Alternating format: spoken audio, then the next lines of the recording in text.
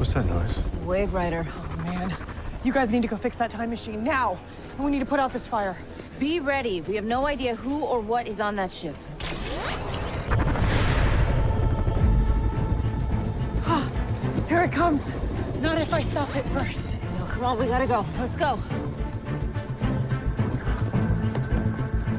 We're right above the legends, Captain. Only you can engage our weapons. It's time to prove to me that you're the man I know you are. I'm sorry, Gideon. I I just can't do it. I just can't kill the legends.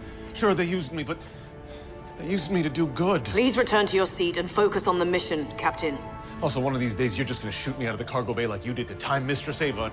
I'd rather die with a little more dignity. There's nowhere to run. Wrong about that, Gideon. No, do not go into Section A2.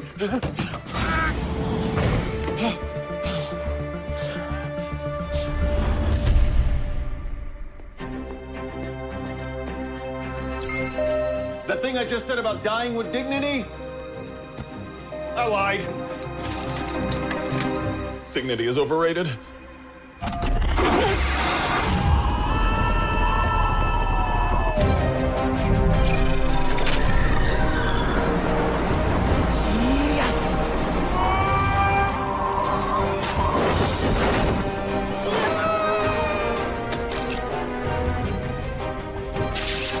What is that?